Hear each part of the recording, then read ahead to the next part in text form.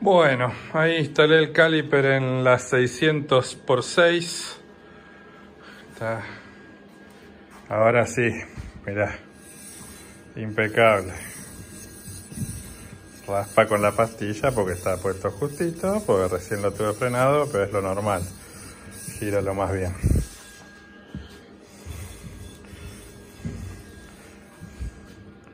Ahora hay que soldarlo.